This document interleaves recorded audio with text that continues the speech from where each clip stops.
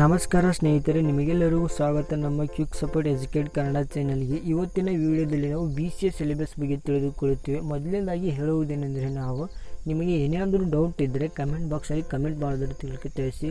ಈ ಒಂದು ವಿಡಿಯೋ ಮಾಡಿದ ಕಾರಣಕ್ಕಾಗಿ ಕಮೆಂಟ್ ಬಂದಿರುವ ಕಾರಣದಿಂದಾಗಿ ವಿಡಿಯೋನ ಮಾಡಿದ್ದೇನೆ.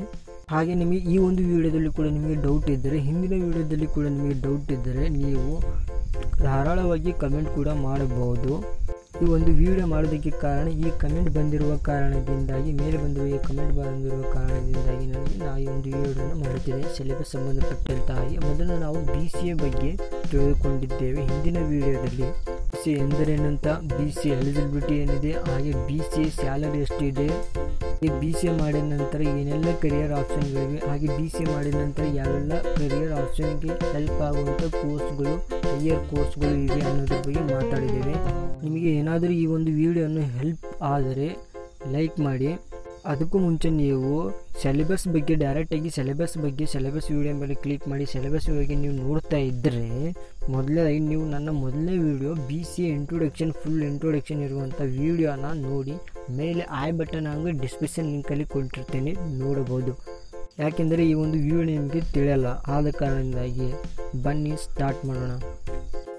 ಬಿ ಸಿ ಎ ಒಂದು ಪ್ರೊಫೆಷನಲ್ ಡಿಗ್ರಿ ಕೋರ್ಸ್ ಆಗಿದ್ದು, ಈ ಕೋರ್ಸ್ ಮಾಡಬೇಕಂದ್ರೆ ಇಂಟ್ರೆಸ್ಟನ್ನು ಹೊಂದಿರಲೇಬೇಕಾಗಿರುತ್ತದೆ. ಇದು ಲ್ಯಾಂಗ್ವೇಜ್ ಆ್ಯಂಡ್ ಸಾಫ್ಟ್ವೇರ್ ಅನಿಮೇಷನ್ ಸಂಬಂಧಪಟ್ಟಂತೆ ತಮ್ಮ ಕರಿಯರ್ಗೆ ಹೆಲ್ಪ್ಫುಲ್ ಆಗುತ್ತದೆ.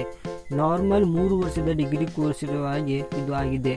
ನಾರ್ಮಲ್ ನಾವು ಮೂರು ವರ್ಷದ ಡಿಗ್ರಿ ಕೋರ್ಸನ್ನು ಡಿಸ್ಕಸ್ ಮಾಡಿದ್ದೇವೆ. ಆ ಕೋರ್ಸಿನ ಬಗ್ಗೆ ಮೇಲೆ ಐ ಬಟನ್ನಲ್ಲಿ ಹಾಗೆ ಡಿಸ್ಕ್ರಿಪ್ಷನ್ ಲಿಂಕಲ್ಲಿ ಕೊಟ್ಟಿರ್ತಾನೆ ನೋಡಬಹುದು. ಇವಾಗ ನಾವು ಸಿಲೆಬಸ್ ಬಗ್ಗೆ ಮಾತಾಡುತ್ತಿದ್ದೇವೆ. ಬಿ ಸಿ ಎ ಸಿಲೆಬಸ್ ಬಗ್ಗೆ ಮಾತಾಡುತ್ತಿದ್ದೇವೆ ಈ ಒಂದು ವಿಡಿಯೋದಲ್ಲಿ. ಇದು ಬಿ ಸಿ ಎ ಸಿಲೆಬಸ್ನಲ್ಲಿ ಡಿಪೆಂಡ್ ಅಪಾನ್ ಯುವರ್ ಯೂನಿವರ್ಸಿಟಿಯಲ್ಲಿ ಆಗಿರುತ್ತದೆ. ಯಾಕಂದರೆ ಡಿಪೆಂಡ್ ಅಪಾನ್ ಯುವರ್ ಯೂನಿವರ್ಸಿಟಿ ಆಗಿರುತ್ತದೆ.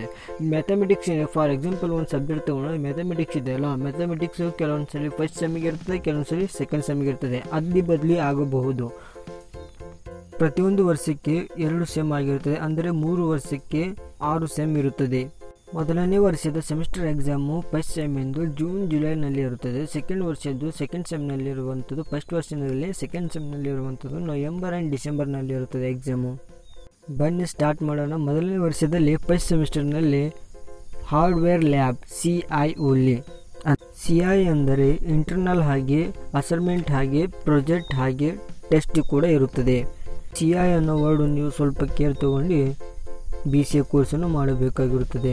ಸಿ ಐ ಇಂಪಾರ್ಟೆಂಟ್ ಆಗಿರುತ್ತದೆ ಬಿ ಸಿ ಎಲ್ಲಿ ಸೆಕೆಂಡ್ ಸಬ್ಜೆಕ್ಟ್ ಫಸ್ಟ್ ಸೆಮ್ನಲ್ಲಿ ಕ್ರಿಯೇಟಿವ್ ಇಂಗ್ಲೀಷು ಹೆಚ್ಚೆಚ್ಚು ಎಲ್ಲ ಯೂನಿವರ್ಸಿಟಿಯಲ್ಲಿ ಇಂಗ್ಲೀಷ್ನಲ್ಲೇ ಇರುತ್ತದೆ ಬಿ ಸಿ ಎ ಕೋರ್ಸು ಕನ್ನಡದಲ್ಲಿ ಇರುವುದಿಲ್ಲ.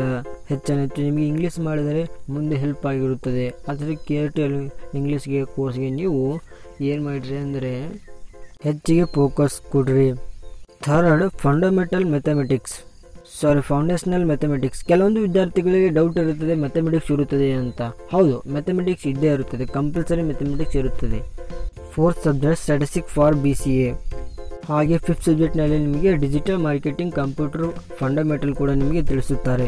ಸಿಕ್ಸ್ ಎಂ ಎಲ್ಲಿ ನಿಮಗೆ ಇದು ಸಾರಿ ಸಿಕ್ಸ್ ಸಬ್ಜೆಕ್ಟ್ನಲ್ಲಿ ನಿಮಗೆ second ಸಬ್ಜೆಕ್ಟ್ನಲ್ಲಿ introduction to programming language C language ಕೂಡ ನಿಮಗೆ ಕಲಿಸುತ್ತಾರೆ ಬಗ್ಗೆ ಕೂಡ ನಿಮಗೆ ಹೇಳುತ್ತಾರೆ. ಹಾಗೆ ನಿಮಗೆ ಸೆವೆಂತ್ ಸಬ್ಜೆಕ್ಟ್ನಲ್ಲಿ ಸಿ ಪ್ರೋಗ್ರಾಮಿಂಗ್ ಲ್ಯಾಬಿನಲ್ಲಿ ನಿಮಗೆ ಪ್ರಾಕ್ಟಿಕಲ್ ಕೂಡ ಮಾಡುತ್ತಾರೆ. ಹಾಗೆ ಪಿ ಸಿ ಸಾಫ್ಟ್ವೇರ್ ಕೂಡ ಲ್ಯಾಬ್ ಇರುತ್ತದೆ ನಿಮಗೆ.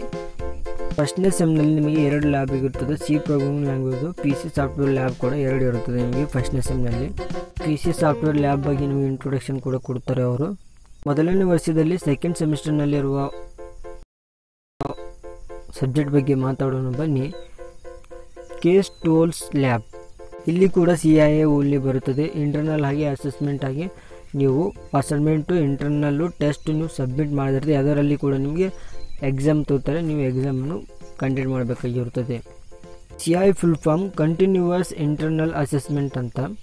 Second subject ಕಮ್ಯುನ್ communication English second subject ಆಗಿರುತ್ತದೆ. ನಾವು ಅವಾಗೆ ಹೇಳಿದೆ ನಿಮಗೆ ಹೆಚ್ಚಿಗೆ ಇಂಗ್ಲೀಷಿಗೆ ಪ್ರೋತ್ಸಾಹ ಕೊಡಿ. ಯಾಕಂದರೆ ಬಿ ಸಿ ಎ ಇಂಗ್ಲೀಷ್ನಲ್ಲಿರುತ್ತದೆ ಇಂಗ್ಲೀಷ್ಗೆ ಎಲ್ಲ ಹೆಚ್ಚಿಗೆ ಪ್ರೋತ್ಸಾಹ ಕೊಟ್ಟರೆ ನಿಮಗೆ ಮುಂದೆ ಯೂಸ್ ಆಗುತ್ತದೆ. ಹಾಗೆ ಎಂ ಸಿ ಎ ಮಾಡೋದಕ್ಕೆ ಹೆಲ್ಪ್ಫುಲ್ ಕೂಡ ನಿಮಗೆ ಆಗುತ್ತದೆ. Third subject basic discrete mathematics ಇಲ್ಲಿ ಕೂಡ ಮ್ಯಾಥಮೆಟಿಕ್ಸ್ ಬಂತು. Fourth subject operating system knowledge ಬಗ್ಗೆ ಕೂಡ ನಿಮಗೆ ಹೇಳುತ್ತಾರೆ. Fifth subject data structure knowledge ಕೂಡ ನಿಮಗೆ ಸಿಗುತ್ತದೆ. ಸೆಕೆಂಡ್ ಸೆಮ್ನಲ್ಲಿ ನಿಮಗೆ ಒಂದು ಲ್ಯಾಬ್ ಇರ್ತದೆ. ಅದು ವಿಜುವಲ್ ಪ್ರೋಗ್ರಾಮಿಂಗ್ ಲ್ಯಾಬ್ ಅಂತ ಇರುತ್ತದೆ.